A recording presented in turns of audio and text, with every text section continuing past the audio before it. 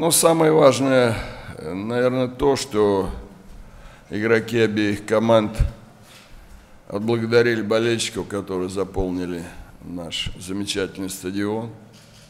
Иной раз бывает такое, что э, соберется полная чаша людей, а матч не удается. На мой взгляд, матч удался как для одной, так для другой команды. Было очень большое напряжение, было много, достаточно много моментов.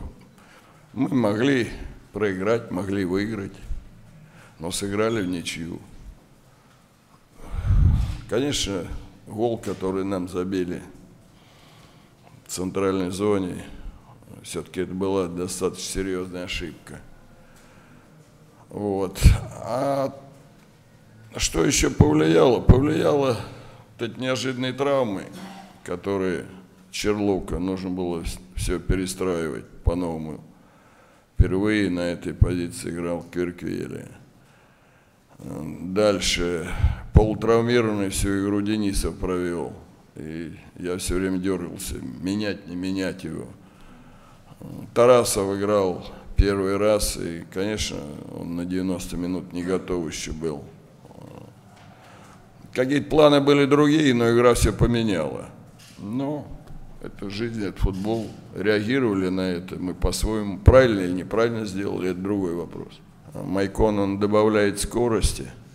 Но вообще-то мы Майкона планировали раньше. Но вот что я предыдущим сказал, травмировали, травмы эти, они не позволили ее сделать.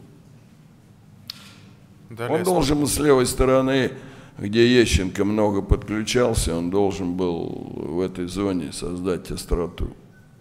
Вам понравилось, как Янбаев играл с Краснодаром? Мне не понравилось. Поэтому он не играл. Также мне не понравилось Печинович с Краснодаром, как играл. Поэтому тоже был заменен. Вот и все. Очень простая логика.